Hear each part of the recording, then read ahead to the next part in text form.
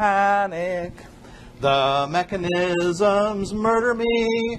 I should have learned organic. For all I have to memorize, I ought to win the Nobel Prize. Biochemistry, biochemistry. I wish that I were wiser. Now don't you feel like you know that stuff better? Don't encourage me. Doesn't that make more sense now? You guys want another one? Okay, hold on. Let's go. Here's one I just wrote, all right? You'll love this one. You know the song Happy Days Are Here Again? Okay. Crappy days are here again, the sky above's not clear again, and the sun has disappeared again. Crappy days are here again. You guys can relate to this, right? Rain is falling from the sky. I wish I knew the reason why. Guess I'll have to wait until July for the weather to be dry. I do not mean to harangue, since rain provides yin and yang. Because the flowers, everyone love moisture followed by the sun. Let's stay happy till the rain is done in Corvallis, Oregon.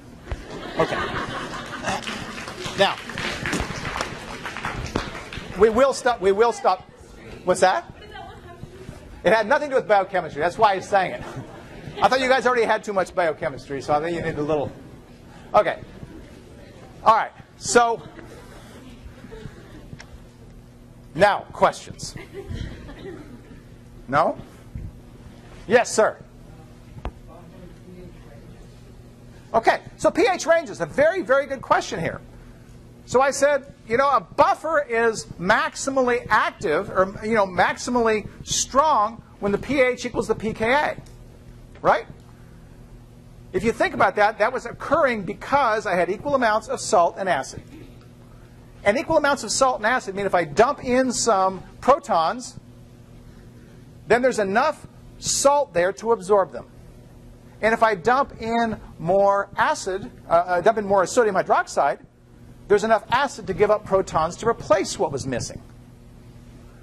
Well, when do I run out of that ability to do that? Okay. Well, you can imagine that the more skewed that ratio is, let's say I've got 10 to 1. I've got 10 times as much salt as acid. Okay? What we see is when we've got 10 times as much salt as acid, and I want to go back to my figure here. Uh,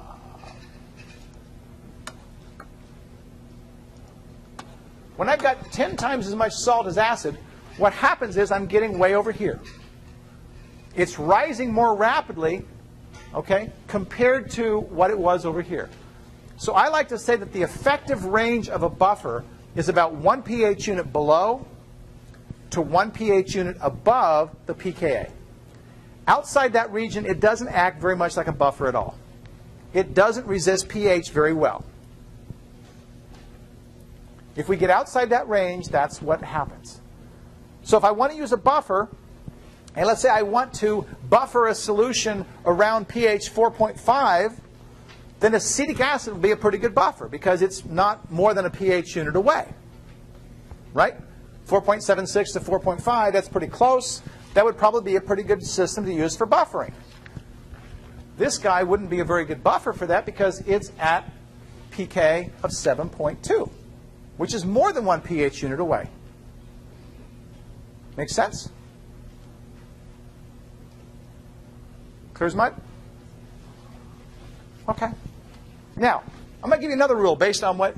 Does that answer your question? Is that okay?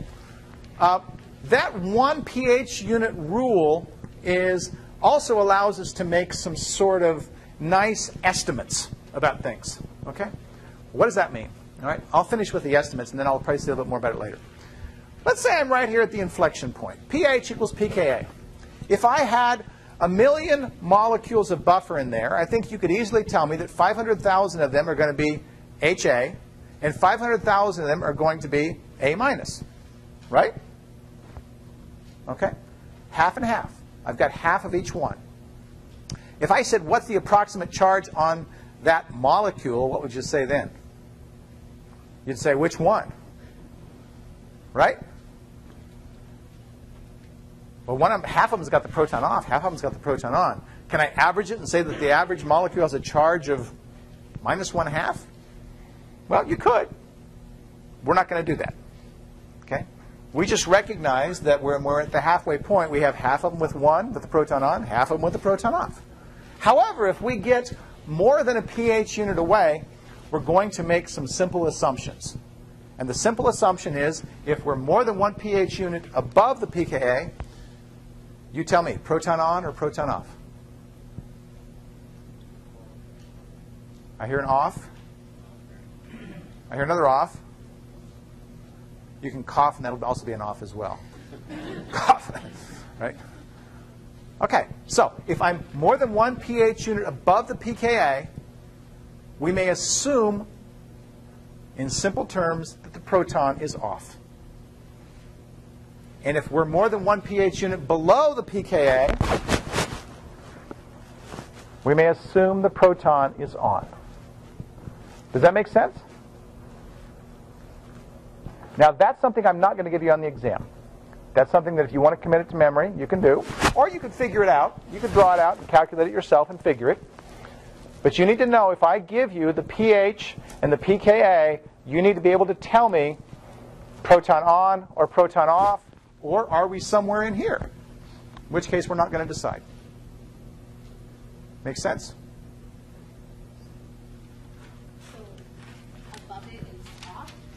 Up here it's off, that's right. More than one of, more than one above, it's off. More than one below, it's on. Okay? All right. I think you've heard me singing that's enough for today. So let's call it a day, and I'll see you on Friday.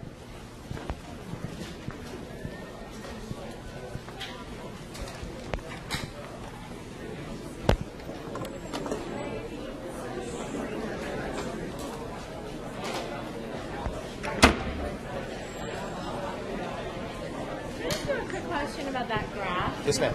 So um, you said um, five million molecules, 500,000 of them will have the proton off, and 500,000 of them will have the proton on. If the pH equals the pKa. Oh, if the pH equals the pKa. Okay, because I was thinking if it was a strong acid, you couldn't make that assumption. But you see, when we have a when we have a pH equals pKa, then you can. Okay. Okay. Okay. Yeah. Thank you.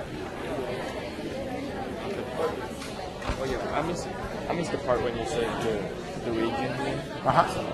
Uh, I missed uh, why is inside? this is the inflection point. This is where the pH equals the pKa. Oh oh uh, why this is uh increased rapidly over here and not here? Well, because there's not as much uh, ability to resist change in protons Oh. when you don't have roughly equal amounts. Okay. So down here you've got, you know, very widely varying amounts of salt and acid. You don't have the ability to resist those changes. That, Oh. To resist those changes, you have to have uh, relatively equal amounts of those two.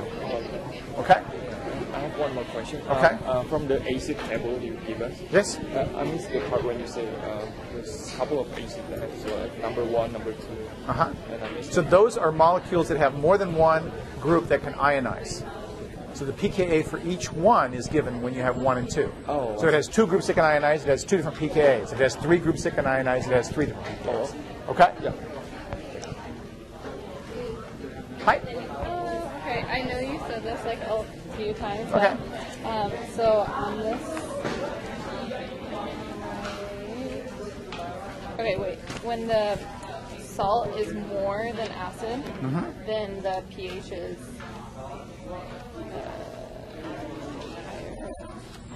Okay. So if salt's greater than acid, what's what's the log term equal to? then?